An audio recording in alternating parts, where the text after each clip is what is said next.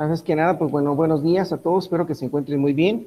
La actividad que vamos a realizar el día de hoy es relacionada a un video que forma parte del compendio de, videos que forman parte de, de, un consorcio que se llama Universo Mecánico, en el cual, pues bueno, vamos a ver lo relacionado al tema de hidrodinámica, que tiene que ver, pues, relación también con los campos vectoriales y con el tema que estamos viendo de mecánica de fluidos. Entonces, para que por favor me van a hacer un resumen de esa información y, lo van a subir hoy, eh, terminando la, la, clase, vamos a, como ustedes saben, el, día de, la sesión del día de hoy es de una hora aproximadamente, entonces, esta actividad van a hacer un resumen, ya sea en un documento en Word, en una hoja y posteriormente en una hoja electrónica, o si la pueden hacer en, sus, en su cuaderno, posteriormente convertirlo en formato PDF y subirlo a la carpeta de, de tópicos selectos de física, ahí en, el apartado de, Google Classroom, por favor. Entonces ahí me van a subir su resumen, que eso va a formar parte de sus evidencias para, este, para esta primera evaluación que vamos a tener, ¿no? Entonces, para que por favor, bueno, estén al pendiente del, del, video, ahorita se los voy a compartir. Y, este, y bueno, por favor, me hacen un resumen de, esta, de este video que se llama Campos Vectoriales e y Campos Hidrodinámicos, ¿no? Entonces vamos a comenzar el día de hoy, ya un ratito más. Imagino que ya están preparados, ingenieros. ¿Correcto? ¿Los escucho? Sí, profe. Sí, profe, adelante, adelante. El video aproximadamente dura 28 minutos, entonces para que por favor hagan sus anotaciones respecto a esto, ¿no? Entonces tienen, este, la sesión se va a cerrar hasta las 11 de la mañana, pero si pueden hacer un resumen antes de, de que termine la clase, precisamente es, como tenemos una hora, pues yo creo que es más que suficiente. Entonces, eh, para que por favor estén al pendiente. Comenzamos con el video, escuchen por favor y pongan atención. Gracias. Campos vectoriales e hidrodinámica.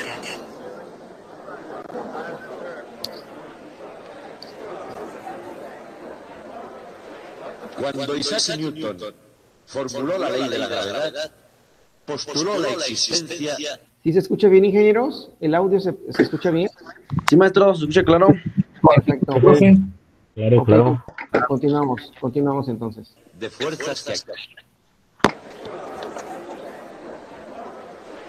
Cuando Isaac Newton formuló la ley de la gravedad, postuló la existencia de fuerzas que actúan a distancia. El Sol podía ejercer una fuerza directamente sobre la Tierra, aun estando separados por una enorme distancia y sin nada entre ambos. Y esa fue una idea que no satisfizo absolutamente a nadie. Cierren sus micrófonos, por favor. Incluso el más ferviente admirador de Isaac Newton, que era el propio Newton, le resultaba molesta. Después, en el siglo XIX, Michael Faraday imaginó sus líneas de fuerza. En la siguiente generación, Maxwell transformó esa idea en la de campo de fuerza y todo el mundo contento. A primera vista, es difícil de ver qué es lo que había cambiado. Las masas y las cargas seguían ejerciendo fuerzas entre sí, las mismas fuerzas, sin nada entre ellas. Y sin embargo, la idea del campo de fuerzas parecía hacer que todo fuera diferente en el mundo. ¿Por qué? La respuesta es porque el campo tenía una realidad objetiva, tenía propiedades que se podían predecir, calcular, manipular, imaginar. El campo existía y se convirtió en un tema realmente apropiado para la investigación científica. Por ejemplo, sabemos que si el campo sufre una perturbación, ésta se propaga a la velocidad de la luz. La velocidad era inherente a las propias leyes de la fuerza. Retrospectivamente sabemos que ese fue el primer gran triunfo de la teoría de campos. Y así iremos estudiando las propiedades de esos campos. Pero el estudio de las propiedades de los campos no comenzó con la electricidad y el magnetismo. Empezó enteramente en otra ciencia, la ciencia de la hidrodinámica, la de la corriente de agua. Hoy vamos a estudiar las propiedades de todos esos campos, los campos eléctricos, los campos magnéticos y los campos de la corriente de agua.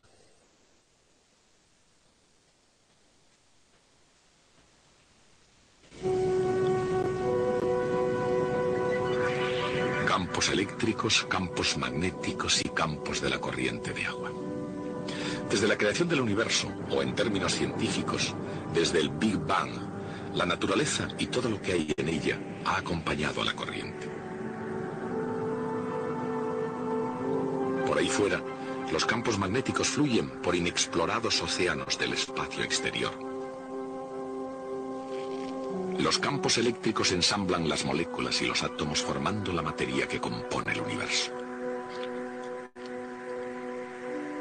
Y más cerca del puerto que nos es familiar, en esa cadena de islas planetarias conocida como Sistema Solar, el magnetismo y la electricidad también dejan sentir su presencia.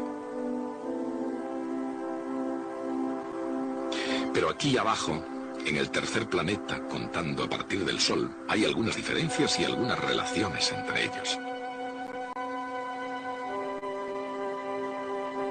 Una de esas diferencias es que, según es de todos conocido, solamente aquí en el planeta Tierra hay agua líquida.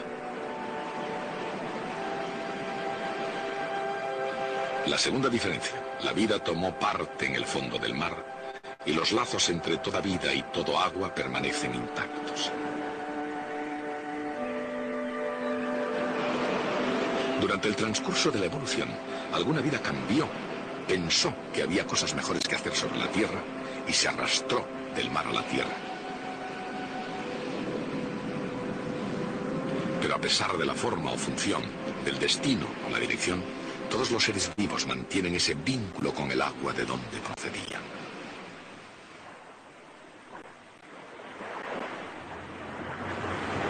Quizá por eso, cuando una forma de vida llamada Homo sapiens llegó a la contemplación de los misterios de la electricidad y el magnetismo, se volvió hacia el campo de la corriente de agua en busca de inspiración.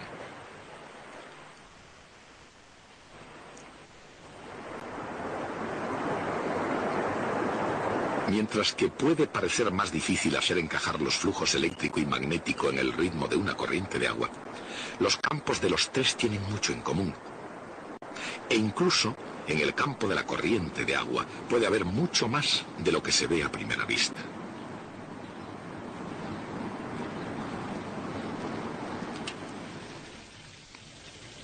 La aparente calma de este recipiente de agua, por ejemplo, pronto se verá afectada por un creciente remolino. Un poco de tinta añadida al agua permite ver la estructura en remolinos de la corriente alrededor del vórtice.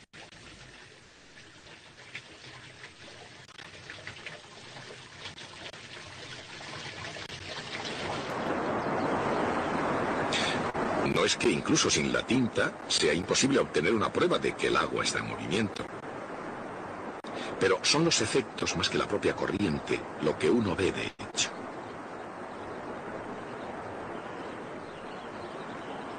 En el curso natural de los acontecimientos, las burbujas de aire, las hojas y las ramas pequeñas y sobre todo la forma agitada de la superficie revelan el movimiento del agua. Pero si miramos nuestro asunto con más profundidad, emerge algo muy interesante. Puede parecer un pequeño punto al principio, pero cuando se llega a los campos de agua e igualmente de electricidad y de magnetismo, resulta ser la pura verdad.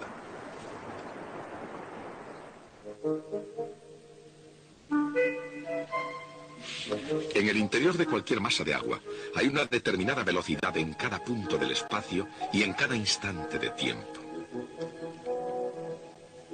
Y como la velocidad es una magnitud vectorial, se concluye que la corriente de agua, sin importar hacia dónde fluya, puede ser representada por un conjunto de vectores formando una cierta configuración.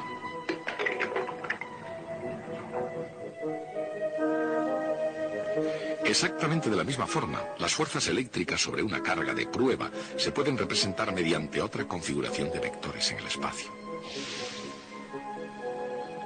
Y también el conjunto de las direcciones que toma una aguja imantada en cada punto del espacio.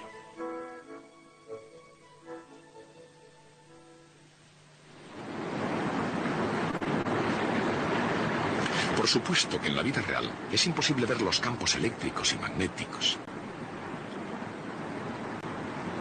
Sin embargo, al observar sus efectos es posible estudiar sus formas y descubrir que, como en el caso del agua, los campos eléctricos y magnéticos son campos vectoriales.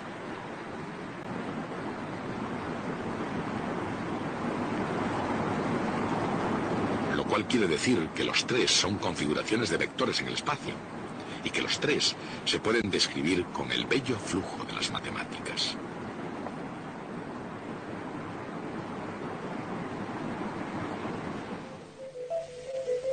Todos los campos vectoriales obedecen a ecuaciones que describen sus formas. El flujo eléctrico a través de cualquier superficie cerrada es proporcional a la carga eléctrica neta en su interior. Pero el flujo magnético a través de cualquier superficie cerrada es siempre igual a cero.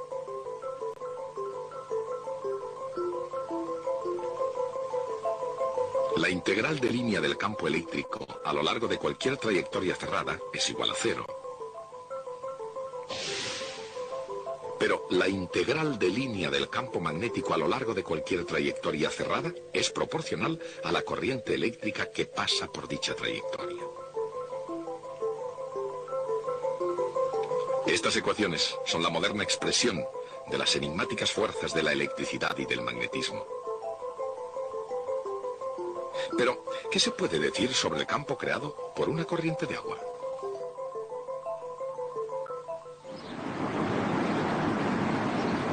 Consideremos, por ejemplo, este veloz arroyo de montaña. La corriente es rápida e incluso turbulenta en algunos sitios. Pero a pesar de todo el ruido y la furia, este es un modesto arroyo dentro del gran sistema de las cosas, un pequeño afluente de la gran red de ríos y saltos de agua de la Tierra.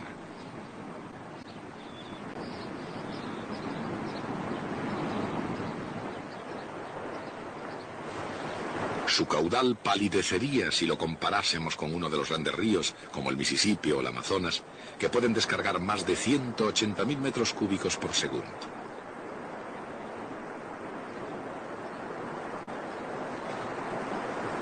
Pero la longitud y el volumen del agua suministrada no son los únicos factores en la corriente del agua.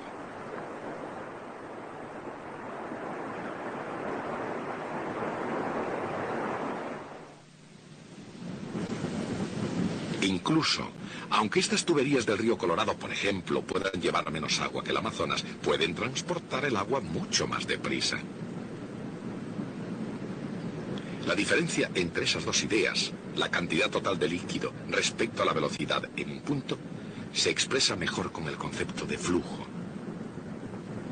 La palabra latina flujo significa fluir del agua y en el lenguaje de las matemáticas funciona del modo siguiente.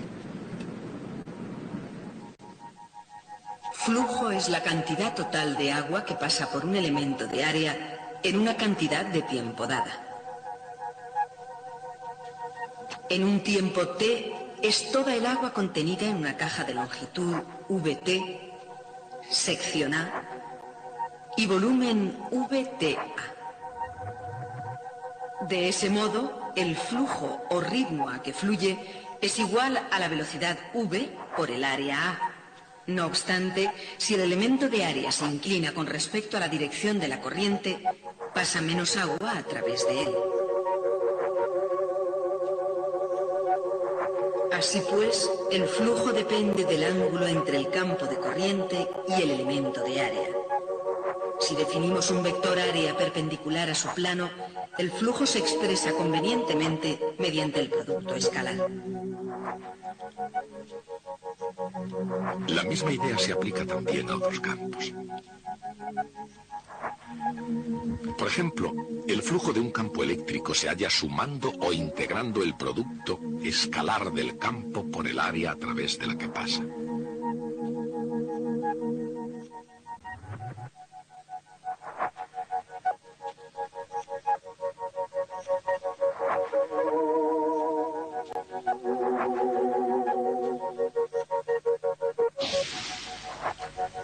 Y del mismo modo se expresa también el flujo magnético. La idea es hallar el número total de líneas de fuerza a través de la superficie. Modo que, tanto si contamos el total de líneas de fuerza como la cantidad total de agua que fluye, la expresión matemática del flujo es la misma para todos los campos vectoriales. Pero cuando consideramos el flujo que sale de una superficie cerrada, no todos los campos se crean de igual manera. Imaginemos una superficie que encierre por completo un cierto volumen en el interior de una masa de agua. Independientemente del campo de la corriente, cualquiera que sea la cantidad de agua que sale, esa misma cantidad deberá entrar al mismo tiempo. Y ese es el único modo posible, de forma que en el interior el agua ni se cree ni se destruya. Así, en el agua, el flujo saliente de una superficie cerrada es siempre cero.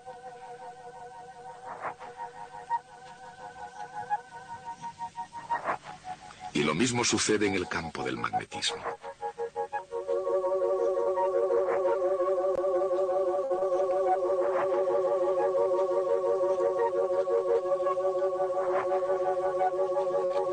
Flujo magnético neto que sale de cualquier superficie cerrada es siempre igual a cero.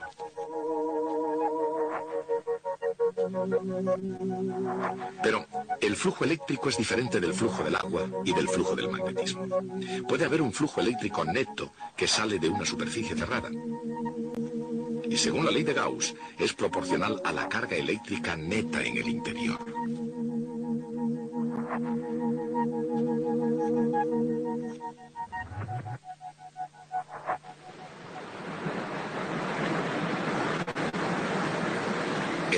Que sale de una superficie cerrada expresa una diferencia esencial entre los campos vectoriales. El flujo del campo magnético y el del agua que sale de un volumen cerrado es siempre cero, porque ninguno de los dos puede irradiar hacia el exterior desde un punto en el espacio. Por otra parte, es eso precisamente lo que hace el flujo eléctrico. Irradiar hacia afuera desde un punto en el espacio. Lo cual significa que en lugar de ser como el agua y el magnetismo, el flujo eléctrico es como el flujo de la luz del sol. El flujo total de la luz a través de una superficie cerrada es proporcional a la intensidad de la fuente luminosa en el interior. Y eso es así, tanto si la fuente de luz es una estrella en el cielo, como si es una bombilla de linterna, e igualmente cierto, independientemente del tamaño de la superficie. De modo que el Sol crea un flujo de luz de forma muy parecida a como una carga eléctrica crea un flujo en el campo eléctrico. Pero, ¿y qué pasa con la corriente de agua y con el flujo magnético? Si esos campos no están engendrados por fuentes que puedan crear flujo hacia afuera de una superficie cerrada, ¿cómo puede crearse corriente alguna?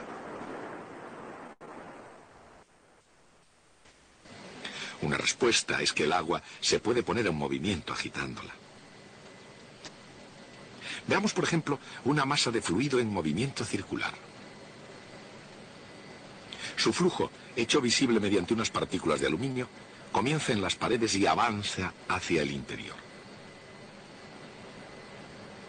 Con el tiempo, todo ese movimiento va formando como una estructura rígida, con el fluido en rotación, como si se hubiera congelado formando un cuerpo sólido. Esa es una manera de poner las cosas en movimiento. Pero hay otra. Cuando alguien quita el tapón, todo se pone en movimiento. Y más pronto o más tarde se desarrolla una nueva configuración que recibe el nombre de torbellino a flujo de vórtice.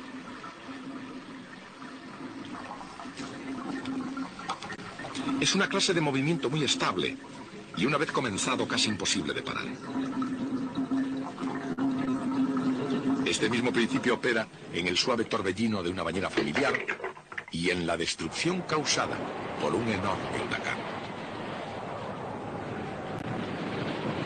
Y ocurre porque incluso antes de que comience la tormenta, la masa de aire tiene una clase especial de movimiento llamada circulación. Y en el caso de una bañera, o en el de un huracán, de un incendio en el bosque, o de un tornado en un valle, la circulación lleva a un vórtice. Cuando primeramente se quita el tapón, el agua más próxima al centro de la bañera, donde el movimiento interno es menor, fluye directamente hacia abajo, siendo reemplazada por agua situada más lejos. Pero ese agua circulando más rápidamente al moverse hacia adentro conserva el momento cinético.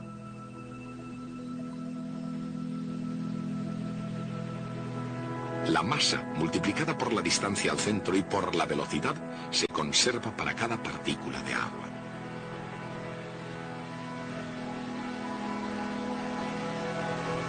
Así que, a medida que se acerca al eje central del recipiente, cada partícula de agua gira cada vez más rápidamente, hasta que el agua irrumpe por el agujero en el centro del vórtice.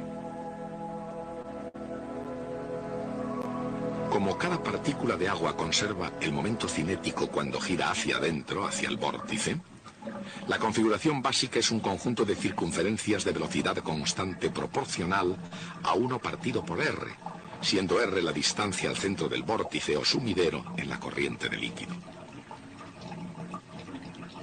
El momento cinético explica la notable estabilidad en el movimiento de vórtice y el campo vectorial tiene la misma forma que el campo magnético creado por un hilo conductor.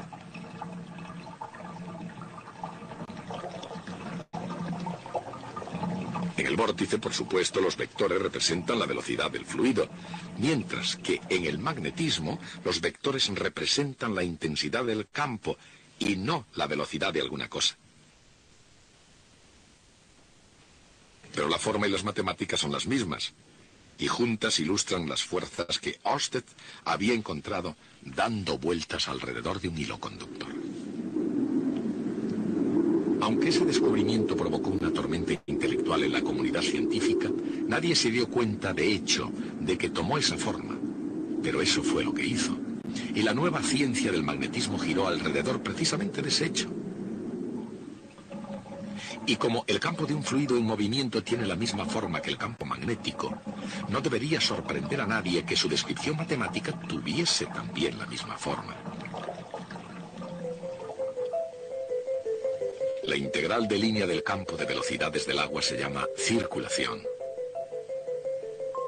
Como el agua se mueve aproximadamente en círculos con una velocidad inversamente proporcional a la distancia al centro, la circulación alrededor del centro de un vórtice no depende de la distancia del mismo. Es una constante proporcional a la intensidad del vórtice. De la misma manera, la integral de línea de un campo magnético es proporcional a la intensidad de corriente eléctrica que crea el campo. Matemáticamente hablando, el vórtice es el origen del movimiento del fluido, exactamente en el mismo sentido en que la corriente eléctrica es el origen de los campos magnéticos. Y así como una corriente eléctrica puede formar un lazo cerrado, un centro de vórtice forma un lazo que recibe el nombre de anillo del vórtice. El campo de uno de esos anillos es el mismo que el campo magnético creado por una espira o lazo de corriente. Los anillos de vórtice, como todos los vórtices, son estructuras asombrosamente estables. Cualquier campo vectorial, tanto eléctrico, magnético o de la corriente de agua, se puede describir con solo dos magnitudes. Su integral de línea y su flujo. Así, para cualquier tipo de campo vectorial, se pueden hacer las mismas preguntas. La primera, si puede tener circulación, y la segunda, si puede fluir radialmente hacia o desde un punto. Para los campos magnéticos y eléctricos que son constantes en el tiempo, las respuestas son sencillas. Los campos magnéticos tienen circulación, pero nunca convergen a un punto. Por otra parte, los campos eléctricos irradian desde una carga puntual, pero nunca tienen circulación. Esas son las naturalezas fundamentales de los campos estacionarios eléctricos y magnéticos. Sea de una manera o de otra, es relativamente fácil observar en muchos paisajes la circulación y el fluir del agua. Sin embargo, el fluir de los campos eléctrico y magnético es totalmente otra cosa. Aunque sean igualmente reales, son más difíciles de captar. No obstante, en términos físicos, los campos eléctrico y magnético existen en el espacio lejos de las cargas o corrientes que los crean.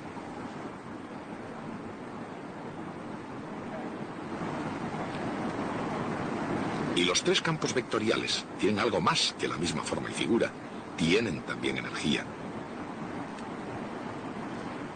Por ejemplo, en un campo eléctrico como el de un condensador, la energía puede provenir de una batería que haga el trabajo de mover cargas contra la fuerza de sus mutuas atracciones y repulsiones.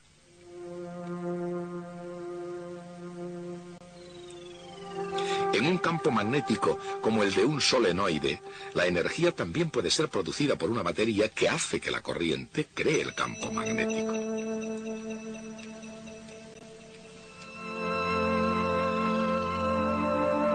Campo, en el caso de un fluido, el trabajo se realiza al poner el fluido en movimiento, y en ese movimiento del fluido es donde reside la energía. La energía es de naturaleza cinética, un medio de mv al cuadrado para cada partícula de materia que se mueve.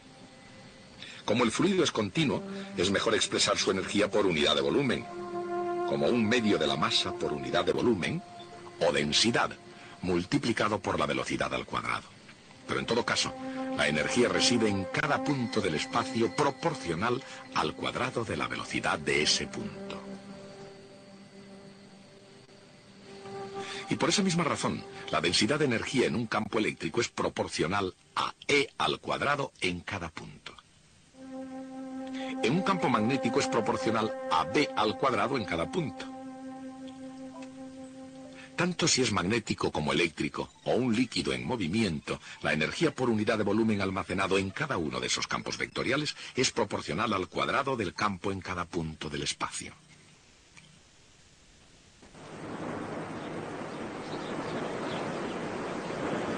Así que, tanto si se trata de flujo, energía o circulación, algunos principios importantes del mundo físico se pueden ver en funcionamiento en uno de sus más primitivos entornos, en un río que fluye libremente.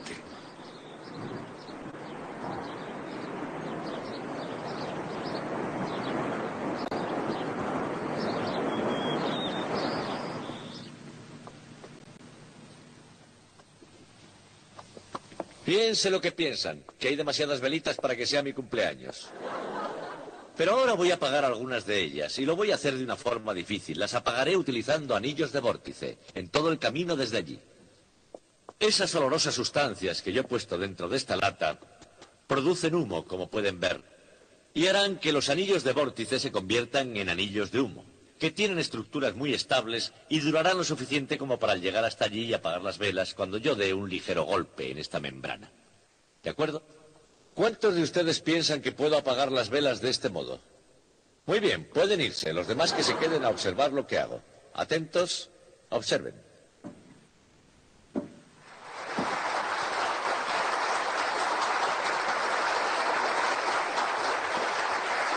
Cuando se hizo esta demostración por primera vez en el siglo XIX, causó tal impresión que durante medio siglo algunas de las más claras cabezas de Europa pensaron que los átomos eran anillos de vórtice en el éter. Pero ya llegaremos a esa historia más adelante. Ahora lo mejor que pueden hacer es irse a tomar un poco de aire fresco.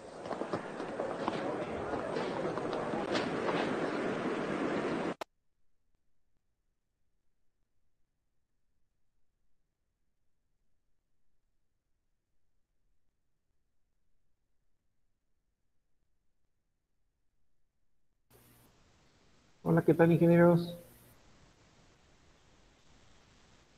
El profe. El Me profe. Dicen que ya realizando su resumen. El profe, ya estamos en eso. Ok, perfecto. pues. Adelante. ¿Alguien abrió su micrófono? Sí, Profe, nada más tenemos que hacer el resumen de ese video. Así es, por favor. Es que como me conecté tarde, este, ya nada más alcancé a ver eh, al minuto 5 en adelante. Entonces, nada más pregunté si nada más era de ese video. Sí, nada más este video. Si quieres, este, lo voy a repetir unos cinco minutos más, ¿te parece?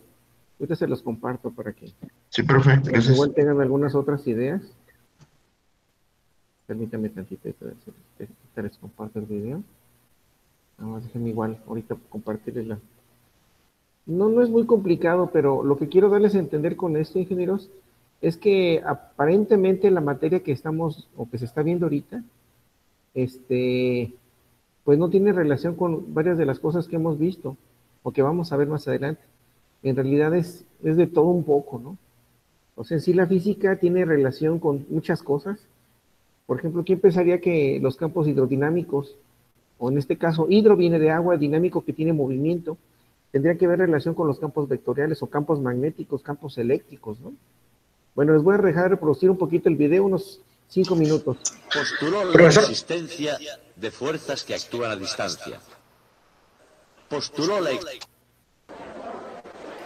Cuando Isaac Newton formuló la ley de la gravedad, postuló la existencia de fuerzas que actúan a distancia. El Sol podía ejercer una fuerza directamente sobre la Tierra, aun estando separados por una enorme distancia y sin nada entre ambos. Y esa fue una idea que no satisfizo absolutamente a nadie. Incluso al más ferviente admirador de Isaac Newton, que era el propio Newton, le resultaba molesta. Después, en el siglo XIX, Michael Faraday imaginó sus líneas de fuerza. En la siguiente generación, Maxwell transformó esa idea en la de campo de fuerza y todo el mundo contento. A primera vista, es difícil de ver qué es lo que había cambiado. Las masas y las cargas seguían ejerciendo fuerzas entre sí, las mismas fuerzas, sin nada entre ellas. Y sin embargo, la idea del campo de fuerzas parecía hacer que todo fuera diferente en el mundo. ¿Por qué? La respuesta es porque el campo tenía una realidad objetiva. Tenía propiedades que se podían predecir, calcular, manipular, imaginar. El campo existía y se convirtió en un tema realmente apropiado para la investigación científica. Por ejemplo, sabemos que si el campo sufre una perturbación, ésta se propaga a la velocidad de la luz. La velocidad era inherente a las propias leyes de la fuerza. Retrospectivamente sabemos que ese fue el primer gran triunfo de la teoría de campos. Y así iremos estudiando las propiedades de esos campos. Pero el estudio de las propiedades de los campos no comenzó con la electricidad y el magnetismo. Empezó enteramente en otra ciencia, la ciencia de la hidrodinámica, la de la corriente de agua. Hoy vamos a estudiar las propiedades de todos esos campos, los campos eléctricos, los campos magnéticos y los campos de la corriente de agua.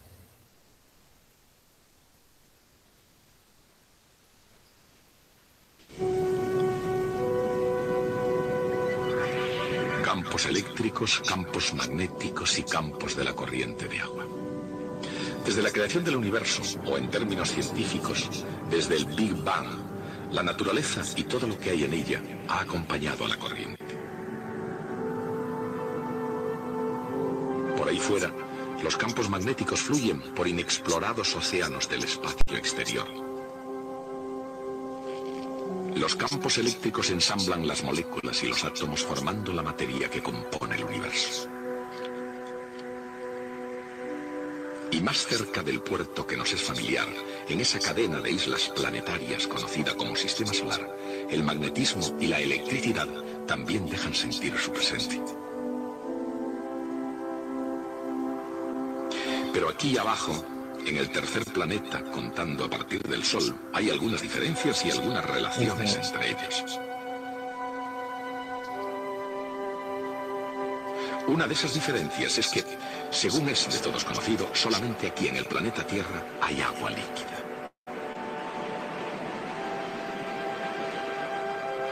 La segunda diferencia, la vida tomó parte en el fondo del mar y los lazos entre toda vida y todo agua permanecen intactos.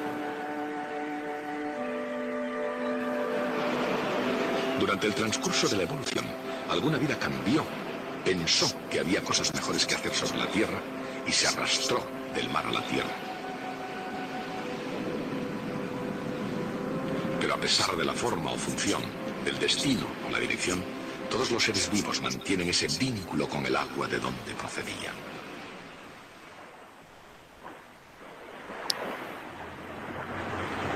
Quizá por eso, cuando una forma de vida llamada Homo sapiens llegó a la contemplación de los misterios de la electricidad y el magnetismo, se volvió hacia el campo de la corriente de agua en busca de inspiración.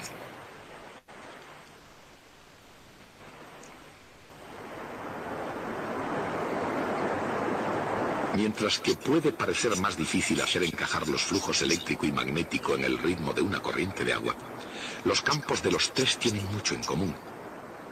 E incluso en el campo de la corriente de agua puede haber mucho más de lo que se ve a primera vista.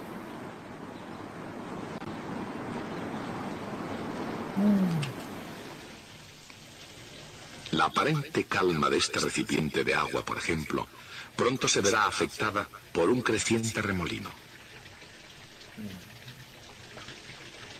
Un poco de tinta añadida al agua permite ver la estructura en remolinos de la corriente alrededor del vórtice.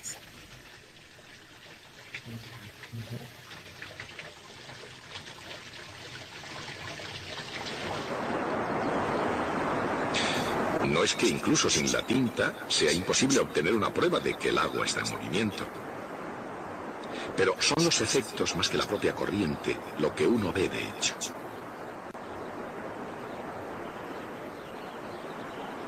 En el curso natural de los acontecimientos, las burbujas de aire, las hojas y las ramas pequeñas y sobre todo la forma agitada de la superficie revelan el movimiento del agua. Pero si miramos nuestro asunto con más profundidad, emerge algo muy interesante. Puede parecer un pequeño punto al principio, pero cuando se llega a los campos de agua e igualmente de electricidad y de magnetismo, resulta ser la pura verdad.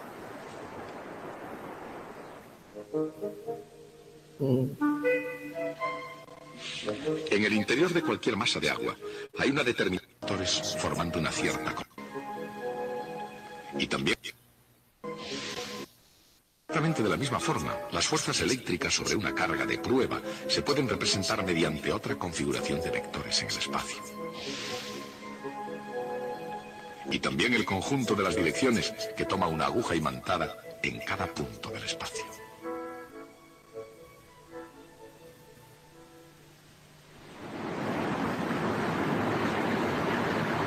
Por supuesto que en la vida real es imposible ver los campos eléctricos y magnéticos. Sin embargo, al observar sus efectos es posible estudiar sus formas y descubrir que, como en el caso del agua, los campos eléctricos y magnéticos son campos vectoriales.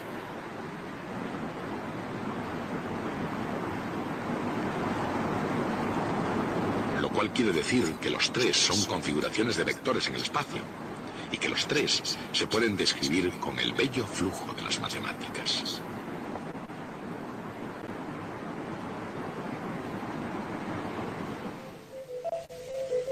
Todos los campos vectoriales obedecen a ecuaciones que describen sus formas.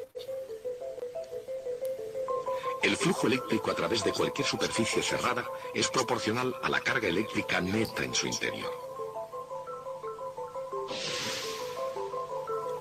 Pero el flujo magnético a través de cualquier superficie cerrada es siempre igual a cero.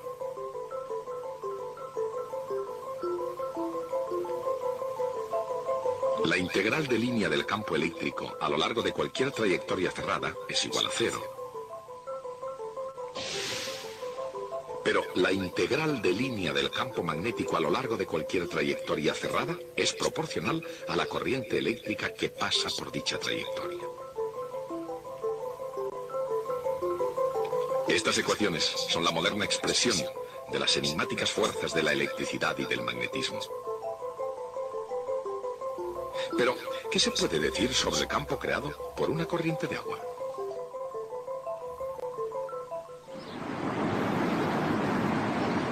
Consideremos, por ejemplo, este veloz arroyo de montaña. La corriente es rápida e incluso turbulenta en algunos sitios.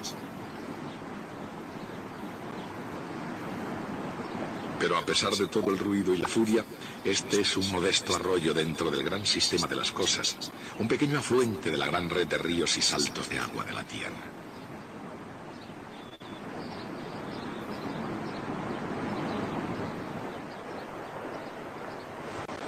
Su caudal palidecería. Ok, ingenieros, vamos a, a dejarte de reproducir el, el video en este momento y bueno, este sí, de hecho tienen este para entregar hoy hasta las 11 de la, de la mañana para que por favor vayan haciendo sus respectivas este, eh, comparaciones. Bueno, si alguien desea ver el, el video nuevamente ya por, en su... Lo pueden encontrar, déjenme les comparto aquí el link de donde yo lo descargué. Profesor, Y adelante. ¿se lo puedo entregar poquito después? Es que ahorita ah, tengo clase. Ok, bueno, pues hagan todo lo posible, ¿no? Por favor, porque sí son actividades que de una u otra manera pues son parte de ustedes, ¿no? ¿Sale? Sí. Puedo compartir el link para que por favor ahí lo tengan adelante, ingenieros. Este, ¿por dónde se lo vamos a mandar? Eh, Lo, lo van a subir a una plataforma, en este caso a Google Classroom. Ahí hay ya ya. un apartado en la carpeta de, en este caso le llamamos risoterapia de tópicos selectos de física, enero-junio 2021. Y ahí van a, ahí aparece ya el, el- ¿cómo se llama? La carpeta y dice resumen de video. Y ahí va para donde está su nombre, ahí me van a hacer favor de subirme su, su carpeta, eh, bueno, su archivo en formato PDF, si son tan amables, ¿sale? Bueno, entonces vamos a dejar la clase aquí y espero sus resúmenes. Este, en cuanto los termine, se los voy a agradecer mucho, ingenieros. Que tengan muy bonito día. Gracias por la atención del día de hoy a esta clase y continuamos en las siguientes sesiones, ya haremos más ejercicios, ¿no? ¿Les parece bien? Oiga, Sí, profe, profe. profe, profe. Sí, gracias. Adelante, ¿alguien desea hacer alguna pregunta, ingeniero? Yo, sí, yo, profe, yo no estoy en, eh, en la clase de, pues de Google Classroom, yo no estoy. No sé Yo si tampoco estoy, profe. mandar el link. Sí, profe, yo tampoco. Ah, entonces, por favor, mándenme un correo electrónico a jesús.villegas y ahí les puedo compartir. Sí, jesús.villegas arroba itcelaya celaya.edu.mx, por favor. Sí, porque tenemos que tener control sobre la información que estamos compartiendo, ¿no? Entonces, mándenme un correo y a vuelta de correo yo les, les proporciono la información que ustedes me piden, ¿sale? Bueno, que tengan bonito día. Muchas gracias. Cuídense mucho. Mándeme. Sale, profe, gracias. Ya le mandé el correo. Salvador. Ahorita le regreso este, ese link. Cuídense mucho. Gracias. Bueno, buen día. Mándeme. Andrea. Hasta luego. Hasta Ah, luego, profe, que esté bien. También ustedes cuídense. Gracias. Bye. Nos vemos. Hasta luego.